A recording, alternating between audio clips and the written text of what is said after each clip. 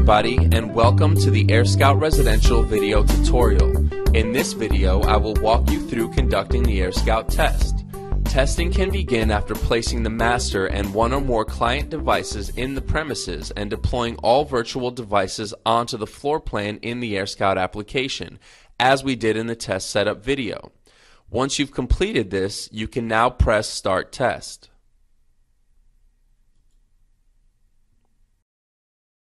After a few moments, the optimization phase concludes with recommendations for the optimal 2.4 and 5 GHz channels in AP location.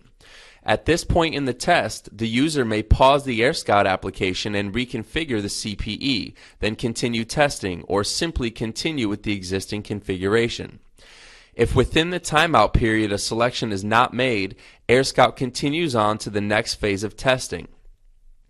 AirScout performs radio and Wi-Fi application validation. The results are displayed using multi-dimensional heat maps, providing an intuitive, easy to understand method for visualizing results. Pressing the signal strength drop-down allows the user to choose from various dimensions that can be displayed on the heat map. Tap the Device Class drop-down menu to select which 802.11 standard should be visualized. Click a client on the multi-dimensional heat map to display room performance metrics.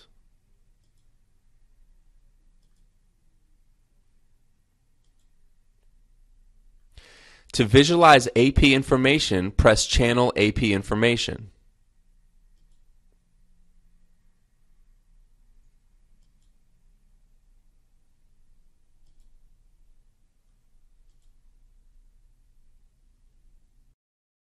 Radio dead zones and weak zones are displayed on the signal strength heat map. Dead zones occur when a Wi-Fi enabled device is outside the radio range of the master or CPE. Weak zones occur when the signal strength or the signal to noise ratio is low.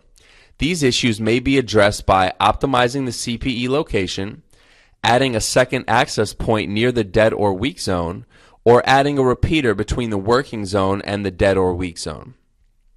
Congestion, defined by 802.11 as visible network traffic, is displayed on the Client Room Performance Metrics menu.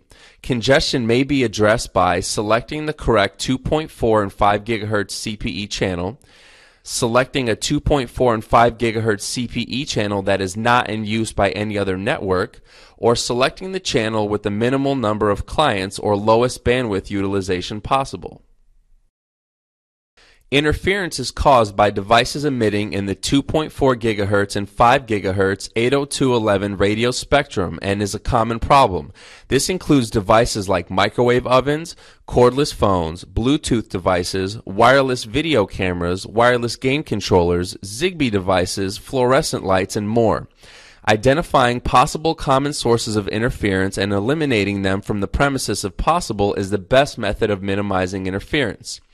Selecting the correct 2.4 GHz and 5 GHz CPE channel is an effective solution for minimizing interference from other 802.11 compliant devices. Select the 2.4 GHz and 5 GHz CPE channel with a minimal number of adjacent channels.